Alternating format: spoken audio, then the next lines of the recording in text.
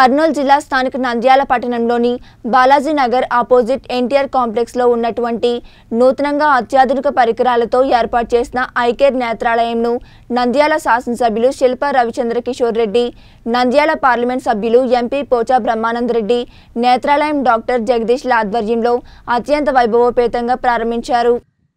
ఈ సందర్భంగా ఎమ్మెల్యే ఎంపీలు మాట్లాడుతూ అతి త్వరలో నంద్యాల జిల్లా కాబోతున్న శుభ సందర్భంగా అత్యంత ఆధునీకరణ పరికరాలతో కూడిన అడ్వాన్స్ ఐకేర్ నేత్రాలయం నంద్యాలలో ఉండడం మనందరికీ శుభప్రదమని నంద్యాల పట్టణ ప్రజలు వారి సేవలను వినియోగించుకోవాలని తెలిపారు. ఈ కార్యక్రమంలో నేత్రాలయం హాస్పిటల్ సిబ్బంది తదితరులు పాల్గొనడం జరిగింది.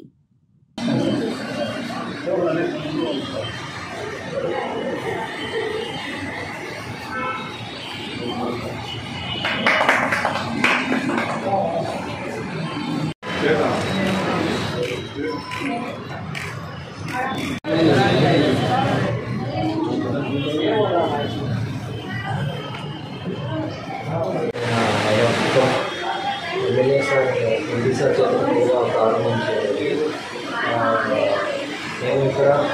పీరియాట్రిక్ ఆఫ్థర్మాలజీ ట్రెడిషనల్స్ న్యూరో ఆఫ్థర్మాలజీతో పాటు గ్లకోమా క్యాటరెక్స్ సేవలు అంది అందించబడుతుంది సో అందరూ ప్రజలు మంచి నాణ్యమైన సేవలను అందించడం మా కర్తవ్యం భావిస్తుంది సో నంద్యాల ప్రజలందరికీ మా విన్నపం ఏంటంటే ఈ సేవలను వినియోగించవచ్చు